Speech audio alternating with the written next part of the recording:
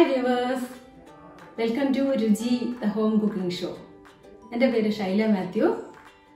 ഞാൻ ഇന്നിവിടെ ചെയ്ത് കാണിക്കാൻ പോകുന്നത് ഫ്രൈഡ് ചിക്കൻ കറിയാണ്. ഇത് വളരെ ഡിഫറെന്റ് ആയിട്ടുള്ള ഒരു ഡിഷാണ് നമ്മൾ സാധാരണ ചിക്കൻ വെക്കുന്നത് നമ്മളൊരു നാടൻ രീതിയിലാണ് വെക്കാറ്. എപ്പോഴും നമ്മൾ സാധാരണയായിട്ട് വീടുകളിൽ അതേ രീതി തന്നെയായിരിക്കും വെക്കാറ്.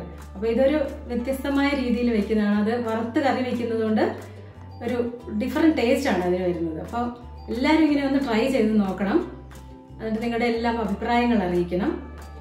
അതുപോലെ ആദ്യമായിട്ട് വീഡിയോ കാണുന്നവരാണെങ്കിൽ ചാനൽ സബ്സ്ക്രൈബ് ചെയ്യാൻ മറക്കരുത്. അതുപോലെ ബെല്ലൈക്കോൺ പ്രസ് ചെയ്യണം. പിന്നെ നിങ്ങൾക്ക് ഈ വീഡിയോയുടെ ഇൻഗ്രീഡിയൻസ് ഓരോ വീഡിയോ ചെയ്യുമ്പോൾ അതിന്റെ ഇൻഗ്രീഡിയൻസ് കാണാനായിട്ട് നിങ്ങൾ റൈറ്റ് സൈഡിൽ താഴേക്ക് ഒരു ആരോ മാർക്ക് കാണുന്നുണ്ടല്ലോ. അവിടെ ഒന്ന് പ്രസ് ചെയ്യുകയാണെങ്കിൽ നിങ്ങൾക്ക് അതിന്റെ ഇൻഗ്രീഡിയൻസ് എല്ലാം വ്യക്തമായിട്ട് താഴെ കൊടുത്തിട്ടുണ്ട്. അതിന്റെ ക്വാണ്ടിറ്റിയും കൊടുത്തിട്ടുണ്ട്. അപ്പൊ നിങ്ങൾക്ക് അതും കൂടി മനസ്സിലാക്കാൻ സാധിക്കും. ഇപ്പൊ ഫ്രൈഡ് ചിക്കൻ കറി തയ്യാറാക്കുന്നതിനായിട്ട് ഞാനിപ്പോ ഒരു കിലോ ചിക്കൻ നല്ല വൃത്തിയായിട്ട് വാഷ് ചെയ്ത് റെഡിയാക്കി വെച്ചിട്ടുണ്ട്. വെള്ളമൊക്കെ കളഞ്ഞു വെച്ചിട്ടുണ്ട്. അപ്പൊ നമുക്ക് പലപ്പോഴും നമ്മൾ ഈ ചിക്കൻ വാങ്ങിക്കുമ്പോൾ പലപ്പോഴും കുറച്ച് സ്റ്റിക്കി ആയിട്ടൊക്കെ കാണാറുണ്ട്. കഴുകാൻ നേരത്തൊക്കെ കയ്യിൽ ഒരു ഒട്ടുന്ന പോലെയൊക്കെ വരാറുണ്ട്. അപ്പൊ അത് പോകുന്നതിനായിട്ട് നമ്മൾ ഒരു ഒന്നര ടേബിൾ സ്പൂൺ വിനാഗിരി ഒഴിച്ച് ഒരു ഒരു ടേബിൾ സ്പൂൺ ഉപ്പും കൂടെ ചേർത്ത് കൊടുത്ത് നല്ല അതിൽ നല്ല വൃത്തിയായിട്ട് നമ്മൾ കഴുകി എടു എടുക്കുകയാണെങ്കിൽ ഒരു പത്ത് മിനിറ്റ് നേരം അതങ്ങനെ വിനാഗിരി ഒഴിച്ച് വെക്കണം. അതിനുശേഷം കഴുകി എടുക്കുകയാണെങ്കിൽ ആ വഴുവഴുപ്പൊക്കെ മാറി ചിക്കൻ നല്ല വൃത്തിയായി കിട്ടും. അപ്പം ഞാൻ അങ്ങനെ വിനാഗിരിയിൽ പത്ത് മിനിറ്റ് നേരം വെച്ചിട്ട് കഴുകിയെടുത്ത ചിക്കനാണ് ഇപ്പം വെച്ചിരിക്കുന്നത്. ഇപ്പം നമുക്ക് കണ്ടാൽ തന്നെ അറിയാം നല്ല വൃത്തിയായിട്ട് കഴുകിയെടുത്ത് വെച്ചിരിക്കുന്നതാണ്. ഇനി നമുക്കിതൊന്ന് മാരിനേറ്റ് ചെയ്യണം. അതിന് വേണ്ടിയിട്ട് ഒരു ഒന്നര ടീസ്പൂൺ കാശ്മീരി ചില്ലി പൗഡർ ചേർത്ത് കൊടുക്കാം. അതുപോലെ ഒരു ടീസ്പൂൺ സാധാരണ ചില്ലി പൗഡർ സാധാ മുളക് പൊടി ചേർത്ത് കൊടുക്കാം. കാശ്മീരി ചില്ലി പൗഡർ ചേർക്കുന്നത് എന്തിനാന്ന് വെച്ചാൽ നല്ല കളർ കിട്ടാനാണ്. ഈ കറിക്ക് നല്ലൊരു റെഡ് കളർ ആയിരിക്കും. അതുപോലെ സാധാ ചില്ലി പൗഡറിന് നല്ല എരിവുണ്ട്. കാശ്മീരി ചില്ലി പൗഡറിന് അതുപോലെ എരിവില്ല. ഇനി നമുക്കൊരു കാൽ ടീസ്പൂൺ മഞ്ഞൾപ്പൊടി ചേർത്ത് കൊടുക്കാം.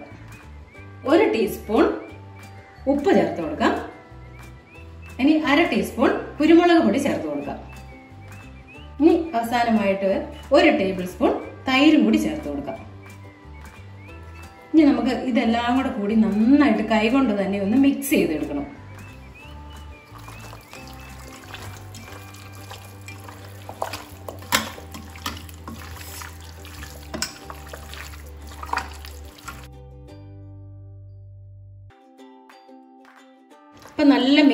ആയിട്ടുണ്ട്. മസാലയൊക്കെ പിടിച്ച് നല്ല മിക്സ് ആയിട്ടുണ്ട്. ഇനി നമുക്കിതിനെ നന്നായിട്ട് ഈ ചേർത്തിരിക്കുന്ന ഇൻഗ്രീഡിയൻസ് ഒക്കെ ഇതിൽ നന്നായിട്ട് പിടിക്കുന്നതിന് വേണ്ടി ഒരു പതിനഞ്ച് മിനിറ്റ് നേരം മാരിനേറ്റ് ചെയ്യാൻ വെക്കാം.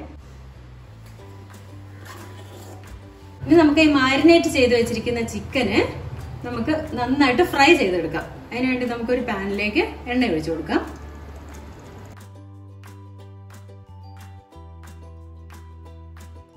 ഈ ഒഴിച്ചു കൊടുത്തിരിക്കുന്ന ഓയിൽ നന്നായിട്ട് ചൂടായി വരണം. ഓയിൽ നമുക്ക് ഏത് വേണമെങ്കിലും എടുക്കാം. വെളിച്ചെണ്ണ എടുക്കാം. റിഫൈൻഡ് ഓയിലോ ഏത് ഓയിലിൽ വേണമെങ്കിലും ഫ്രൈ ചെയ്തെടുക്കാം. എണ്ണ നന്നായിട്ട് ചൂടായതിന് ശേഷം മാത്രമേ ചിക്കൻ പീസുകൾ ഇട്ട് കൊടുക്കാൻ പാടുള്ളൂ. ഓയിൽ നന്നായിട്ട് ചൂടായിട്ടുണ്ട്. ഇനി നമുക്ക് ചിക്കൻ പീസസ് ഓരോന്നായിട്ട് അതിലേക്ക് ഇട്ട് കൊടുക്കാം.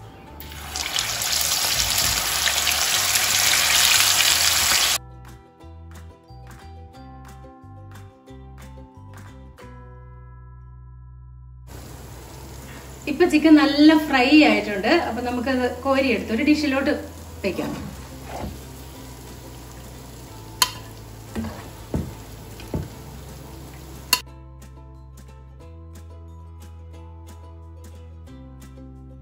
ഇനി നമുക്ക് ഫ്രൈഡ് ചിക്കൻ കറി തയ്യാറാക്കുന്നതിനായിട്ട് നമുക്കൊരു പാനിലേക്ക് മൂന്ന് ടേബിൾ സ്പൂൺ ഓയിൽ ഒഴിച്ചു കൊടുക്കാം.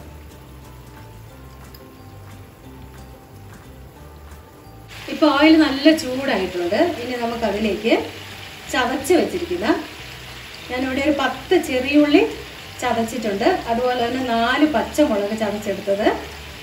ഒരു ആറല്ലി വെളുത്തുള്ളി ചതച്ചെടുത്തത്. അതുപോലെ തന്നെ ഒരു രണ്ട് രണ്ടര ഇഞ്ച് നീളത്തിൽ ഇഞ്ചി ചതച്ചത്. ഇതെല്ലാം കൂടെ മിക്സ് ചെയ്ത് വെച്ചിട്ടുണ്ട്. ചതച്ചെടുത്താൽ മതി. പേസ്റ്റ് ആക്കേണ്ട ആവശ്യമില്ല. അപ്പം നമുക്കിത് ചേർത്ത് കൊടുക്കാം.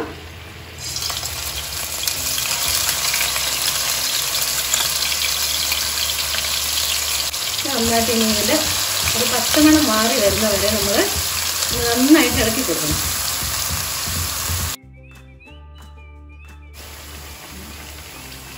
ഇപ്പം നമ്മുടെ ഇഞ്ചി വെളുത്തുള്ളി നന്നായിട്ട് ചുവന്ന് വന്നിട്ടുണ്ട്. എല്ലാം നന്നായിട്ട് ചുവന്ന് വന്നിട്ടുണ്ട്. ഇനി നമുക്കിതിലേക്ക് അരിഞ്ഞു വെച്ചിരിക്കുന്ന സവാള ചേർത്ത് കൊടുക്കാം. ഞാൻ ഇതിനായിട്ട് മൂന്ന് സവാളയാണ് എടുത്തിരിക്കുന്നത്. മൂന്ന് സവാള നീളത്തിൽ കനം കുറച്ച് അരിഞ്ഞത് അത് ചേർത്ത് കൊടുക്കാം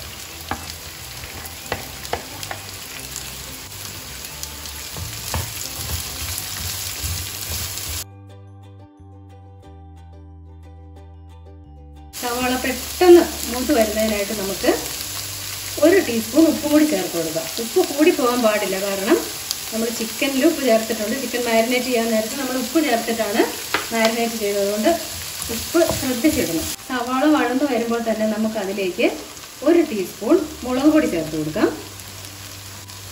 ഒരു അര ടീസ്പൂൺ കുരുമുളക് പൊടി ചേർക്കാം. ഒരു മുക്കാൽ ടീസ്പൂൺ ഗരം മസാല ചേർത്ത് കൊടുക്കാം. കാൽ ടീസ്പൂൺ മഞ്ഞൾപ്പൊടി ചേർത്ത് കൊടുക്കാം. നമുക്കിത് നന്നായിട്ടൊന്ന് ഇളക്കി യോജിപ്പിച്ച്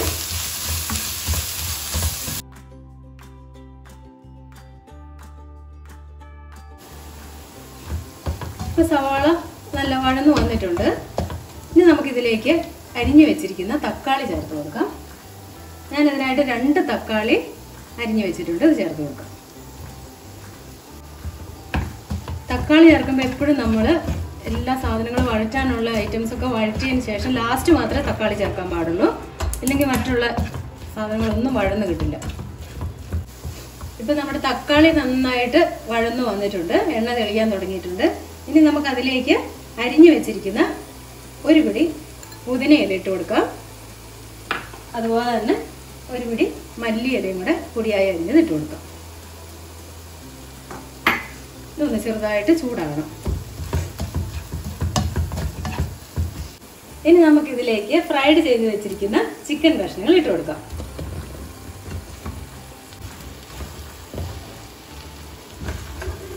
നന്നായിട്ട് മസാലയായിട്ട് നമുക്ക് നന്നായിട്ട് ഇളക്കി യോജിപ്പിക്കാം.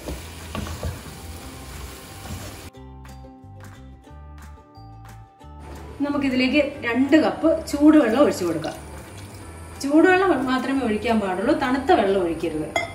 കാരണം നമ്മൾ എപ്പോഴും ചിക്കൻ കറി ഇങ്ങനെ ചെയ്യുമ്പോൾ എപ്പോഴും ചൂടുവെള്ളം വേണം ഒഴിക്കാൻ. തണുത്ത വെള്ളം ഒഴിച്ച് കൊടുക്കരുത് ഇപ്പം അത് നന്നായിട്ടൊന്ന് തിളച്ച് വരട്ടെ. അത് കഴിഞ്ഞ് നമുക്കൊന്ന് ഇതിനെ അടച്ചു വെച്ച് വേവിക്കാം. അപ്പം നമ്മുടെ ഫ്രൈഡ് ചിക്കൻ കറി നമുക്ക് മൂടി തുറന്ന് നോക്കാം. അപ്പം നല്ല ചാറൊക്കെ കുറുകി നല്ല പാകമായിട്ടുണ്ട്. ഉപ്പ് പാകത്തിനാണോ എന്ന് നോക്കണം കേട്ടോ.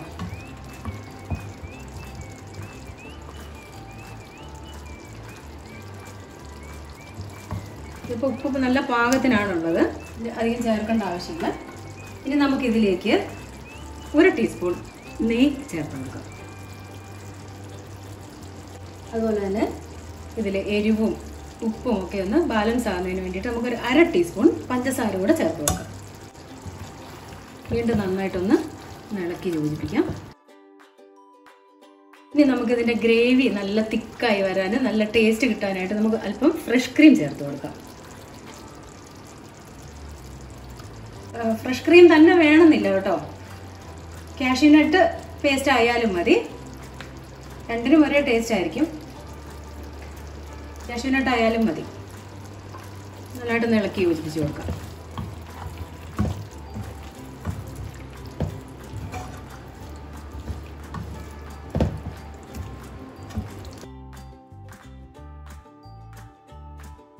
ക്രീം ഒഴിച്ച ശേഷം നമുക്കൊരു ഒരു മിനിറ്റ് നേരം ഒന്ന് കുക്ക് ചെയ്ത് കൊടുക്കാം. ഇപ്പോൾ നമ്മുടെ ഫ്രൈഡ് ചിക്കൻ കറി റെഡി ആയിട്ടുണ്ട്. ഇത് ഫ്രൈഡ് റൈസിന്റെ കൂടെയാണ് ഏറ്റവും നല്ല കോമ്പിനേഷൻ അതുപോലെ തന്നെ ചോറിന്റെ കൂടെ കഴിക്കാൻ ചപ്പാത്തി പൊറോട്ട എല്ലാത്തിന്റെയും കൂടെ കഴിക്കാൻ നല്ലൊരു വിഭവമാണ്. എല്ലാവരും ഇത് ഉണ്ടാക്കി നോക്കണം.